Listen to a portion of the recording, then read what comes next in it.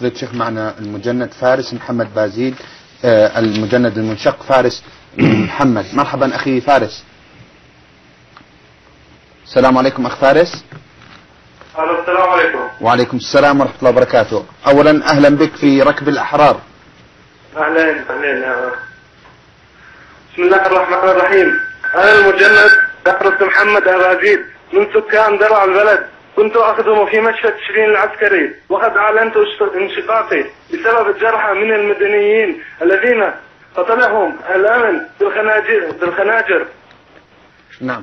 وهناك وق- وقد رأيت رأيت أكثر من من 700 جثة في مشفى تشرين هذا في الأسماء أي- موثقة. أين هذا آه، مجند فارس؟ أين. آه، رأيتها 700 جثة؟ في مشفى تشرين العسكري يا أخ في درعا لا آه، في دمشق. في دمشق نعم. احكي بالعامي معلش احكي بالعامي.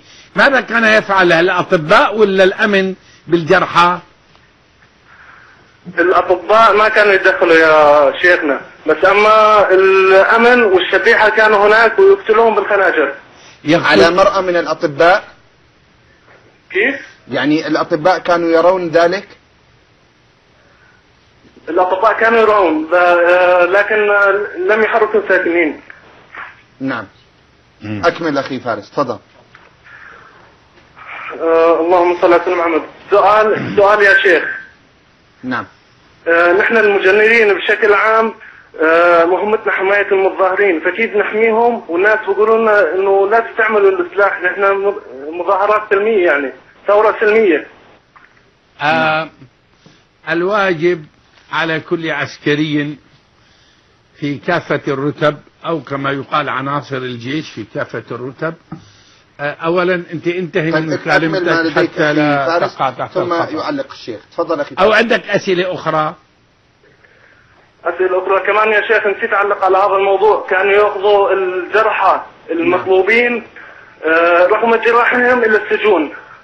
أعوذ بالله. ويتم تعذيبهم كمان. وهذا من آه، شو اسمه صاحبي من الأمن كمان. نعم. الحكي قالوا الله نعم. أكبر. ضربوا المثال طيب. في الوحشية طيب أخي فارس. لديك شيء تضيفه أيضا؟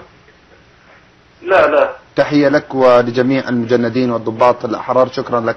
أخي فارس معنا عبد الباسط آه، حمو. السلام عليكم الباس الناشط السياسي آه، الكردي. عبد الباسط مرحبا بك. مساء الخير مساء النور وحياك الله. دعني أبدأ معكم أخي